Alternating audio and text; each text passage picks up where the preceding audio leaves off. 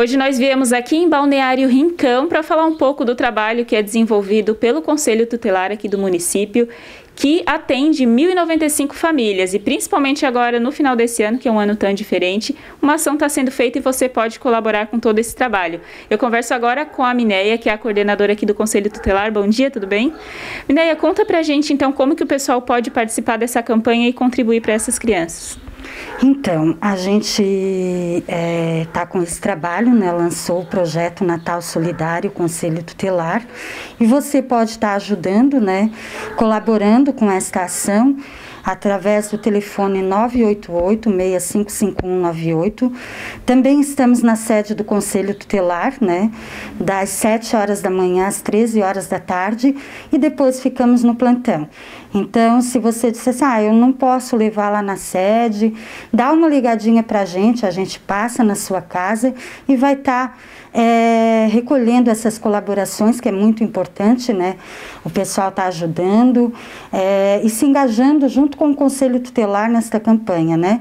Que é para alcançar famílias, que é para fazer o Natal dessas famílias mais felizes, que esse é o objetivo do Conselho Tutelar. E Mineia, 1.095 famílias é muita gente, né, como você falou, e toda ajuda é sempre muito bem-vinda. E a gente está aqui agora numa sala que já tem bastante doação, que o pessoal já está ajudando, né? Sim. Tem até o dia 21 para começar. Vamos mostrar um pouquinho também para falar é, brinquedos, em dinheiro, como que o pessoal pode ajudar, né? Cada um a sua forma. Então, como é, já foi falado, a gente trabalha com 1.095 famílias, atende, desculpa, 1.095 famílias. E dentre essas famílias, no primeiro objetivo do Conselho Tutelar, era alcançar 100 crianças, né? Com brinquedos, balas, chocolate. É, como é, foi falado, a gente já conversou um pouquinho antes, é, a gente entregou um ofício ali na empresa Martêxtil e de primeiro momento eles já adotaram 100 crianças, apadrinharam 100 crianças, né? Com brinquedos, roupas, né? E então o que que acontece? A gente vai poder, né, graças a Deus, é, alcançar mais crianças, mais famílias, né? E a gente está muito contente por isso, porque foi uma campanha que foi aderida, né? As pessoas estão ajudando. Aqui tem só alguma parte né, daquilo que é, a gente está arrecadando. É, ainda tem muitos lugares para o Conselho Tutelar passar. É, a gente crê que vai ser mais uns dois dias de trabalho pela frente, né, com arrecadações. E além desses presentes, dessas balas, desses brinquedos, a gente também vai estar tá comprando cesta básica. Talvez a gente não vai conseguir alcançar as 100 famílias ou as 200 que vai ser entregue esses brinquedos, né? Mas a gente vai escolher as famílias que a gente entende que é mais vulnerável, mais carente, para estar tá entregando essa cesta básica, né? Como a minha colega a Preta falou, é, a gente pensou nas crianças, sabe? Em fazer elas felizes, mas pensamos também nas famílias, né? Que às vezes não tem o, o alimento necessário, não tem, né? O alimento que realmente vai sustentar. Então a gente vai estar tá entregando essa cesta básica junto, sabe? Com esses presentes. Porque você que está acompanhando a gente, pensa só, né? São 1.095 famílias. Se fossem 1.095 pessoas, já eram muitas, né? E cada família aí tem 5, 6 pessoas, depende muito. Até e a gente. 10. Até 10. Até 10 crianças, assim. Bastante gente, então, né? Bastante gente. E, por exemplo, a gente está aqui agora, é um quartinho pequeno. O Jean está mostrando aí as imagens dos presentes. Parece muita coisa, mas ainda pode alcançar muito mais crianças, né? Então, você que está acompanhando, está vendo, ah, já tem presentes. Não, gente. Precisa de mais para alcançar mais crianças e fazer um Natal mais feliz, né? Por exemplo, Minéia, eu vou pedir para você mostrar aqui para gente. Por exemplo, aqui já tem uns pacotes, já está tudo embrulhado certinho e eles já são destinados para a criança, tem o um nomezinho tudo certinho, né? Por exemplo, esse aqui é para Maria Luísa Francisco. Então, Isso, já está ali reservado, assim, cada criança já, já tem o seu ali garantido. Garantido, é. Esses aí, como a gente falou, né, foi o pessoal da Martextil ali que doou. Então, o que, que a gente fez? Eles pediram uma lista, né, com o nome das crianças, idade, e daí a gente passou isso para eles. Então, já veio tudo colocadinho certinho nos presentes, o nome, para a idade, para qual criança vai ser destinado. Então, esses aqui já têm um destino, né, já tem uma direção. E esses que estão na minha retaguarda aqui, né, a gente vai aqui então um pouquinho. É. Aqui também tem outros que ainda não foram embalados, mas vão ser colocados em papel de presente e entregues. Vão ser colocados em papéis de presente, né? E vão ser também direcionados a essas famílias. Muito legal. E, Mineia, para a gente entender também o trabalho que é feito durante todo o ano aqui no Conselho Tutelar. É, essas crianças normalmente enfrentam situações muito difíceis, né? Como que é o trabalho de vocês durante todo o ano?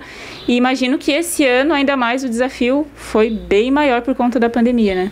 É, foi um ano atípico, né? Foi um ano diferenciado. E o trabalho do Conselho Tutelar é aquilo que a gente sempre diz, é zelar pelo direito, né, da criança e do adolescente, para que esses direitos não sejam violados, né? A gente trabalha com vários tipos de denúncia, agressão, abuso sexual, na né, infrequência escolar. Né? Esse ano foi um pouco diferenciado, porque né, era um trabalho online, né?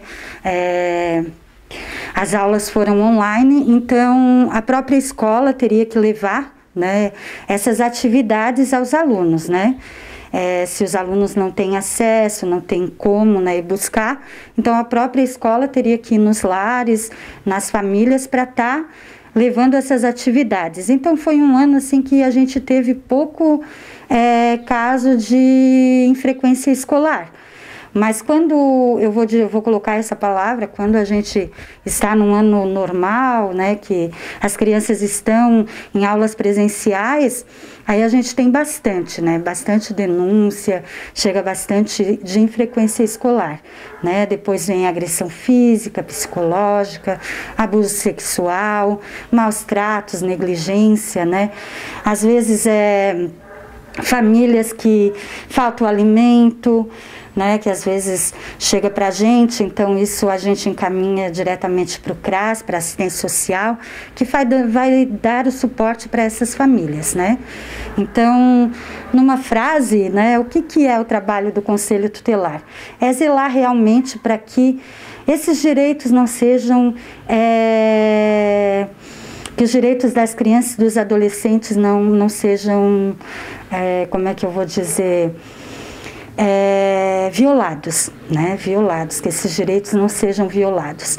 Cuidar, proteger as nossas crianças e os nossos adolescentes e também as famílias, né? Para que o vínculo não seja rompido. Né? A gente trabalha muito com a desestrutura familiar.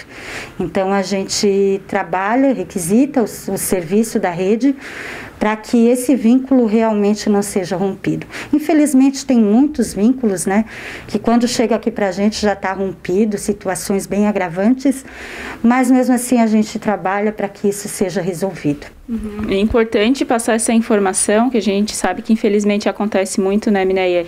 E inclusive quem presenciar também pode e deve entrar em contato com vocês. Sim, né? Deve denunciar. Né? Se vê que a criança ou adolescente está com direito violado, está passando por algum tipo de agressão, é, tem que denunciar, tem que ligar para o 988 655198 ou vir até a sede do Conselho Tutelar, que a gente vai estar tá verificando e vai estar tá direcionando, né? para a rede de atendimento. Se é negligência à saúde, a gente vai estar tá direcionando para a saúde, para a Secretaria da Saúde.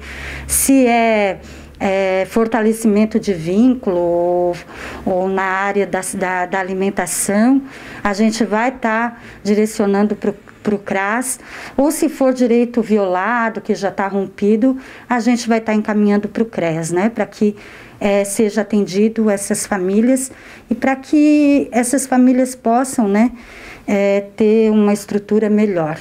Então tá aí esse trabalho importante que é feito aqui na nossa região. Você pode contribuir com todo esse trabalho, seja com brinquedo, com alimentos ou com, né, denunciando também, porque esse é o trabalho do Conselho Tutelar. O número está aparecendo aí na sua tela e assim você vai poder contribuir e também proporcionar um Natal, um final de ano muito mais feliz para essas crianças.